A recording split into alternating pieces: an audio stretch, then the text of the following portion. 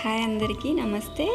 ఈరోజు నేను బాబా గారి పూజ చేద్దాం అనుకుంటున్నానండి. ఇది నా ఫస్ట్ ఫేస్ కెమెరాతో పెట్టే వ్లాగ్ అనమాట జస్ట్ చిన్న చిన్న క్లిప్పింగ్సే షేర్ చేస్తున్నాను. ముందుగా ఇది మా ఇంట్లో పండిన బొప్పాస్కాయ అనమాట కలర్ చూడండి ఎంత బాగుందో. ఇక్కడ వరకు ఫుల్ పండినట్టుంది. ఇక్కడ నుంచి కొంచెం పచ్చిగా ఉంది కానీ ఇది కూడా పండిందండి లోపల. ఫుల్ కట్ చేసి చూపిస్తాను. నేను ఇప్పుడు ప్రసాదం కోసం కొంచెం ఇలా పెసరపప్పుని వేయించుకొని కడిగి ఉడకబెడుతున్నాను అనమాట ఉడకబెట్టి ఇది ఉడికిన తర్వాత అన్నం ఉంది కదా అన్నం ఆల్రెడీ కుక్ చేసి పెట్టాను అనమాట ఆ అన్నాన్ని ఇందులో కలిపేసేస్తున్నాను. ఇలాగా పప్పు అన్నము రెండు కలిసే విధంగా కలుపుకొని కొంచెం బెల్లము దీనికి సరిపడా బెల్లాన్ని స్మాష్ చేసి ఇందులో యాడ్ చేస్తున్నాను. ఇది కొంచెం ఇది మెత్తగానే ఉంటుందండి బెల్లము మీకు అలా గట్టిగా కనిపిస్తుంది కానీ కొంచెం వాటర్ యాడ్ చేసుకుంటే మొత్తము కూడా కలిసిపోతుంది అనమాట బియ్యానికి పప్పుకి బెల్లం అనేది కలుస్తుంది.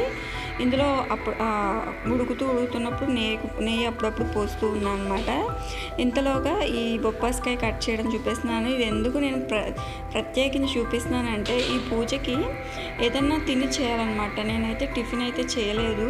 బావగారే పంపించినట్టు ఈ ఫ్రూట్ మా ఎలుగలావిడ ఇచ్చిందనమాట ఈ పండు చెట్టుకు పండి చెట్టుకే పండిందండి. మళ్ళీ కవర్లో కట్టి పండించడం అట్లాంటివి ఏం కాదు. నేను చూసినప్పుడు అనుకున్నా అబ్బా జా మా బొప్పాస్కాయ పండింది అని.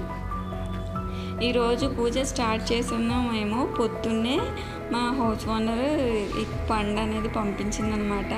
బాబా గారే పంపించినట్టు అనిపించింది నాకైతేను. అలానే బాబా గారు బాబా గారి విగ్రహాన్ని పెట్టి పూజ చేయటానికి ఒక బల్ల కానీ మన పీట కానీ కావాలి. నా దగ్గర అయితే నేను ఇంతకుముందు వీడియోలో పెట్టేశాను కదండి. పీట మిషన్ కింద. అది నేను అంతగా నేను అసలు గమనించలేదు పీట అనేది దాని కింద పెట్టానని. కానీ బాబా ఈ పూజలో నెయ్యితో దీపారాజన చేయాలని ఆ బుక్లో ఉందండి. సో ఆవు నెయ్యి కోసం నేను షాప్కి వెళ్ళాను. వెళ్తే అక్కడ పీటలు అమ్మే అబ్బాయి కనిపించాడు అనమాట అసలు ఎంత నాకు గూస్ బంప్స్ వచ్చినాయంటే ఆ పీట చూసే వరకు నాకు కన- నాకు తెలియలేదన్నమాట ఓకే నాకు ఇప్పుడు పీట కావాలి కదా అని చెప్పేసేసి సో చాలా హ్యాపీగా ఫీల్ అయ్యి ఒక చిన్న పీటనైతే కొనుక్కొచ్చుకున్నాను. ఇదిగోండి అదే అన్నమాట ఈ పీట.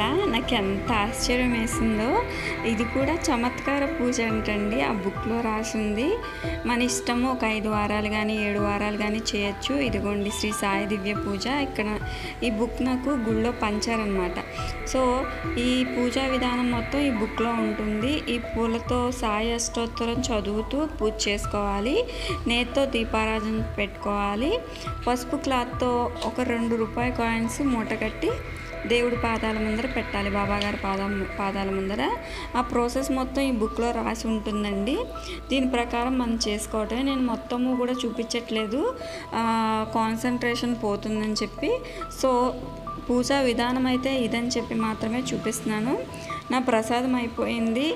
ఇవన్నీ అరేంజ్ చేసుకొని పూజ అయితే చేసేసానమాట చేసేసుకొని ఈ పూజ ఈ బుక్లోనే స్వామివారి మహత్యం కూడా ఉంటుందండి. అది కూడా చదువుకోవాలి. మనకి బాబా మీద నమ్మకం ఉంది అంటే చాలండి. బాబానే అన్నీ చూసుకుంటాడు.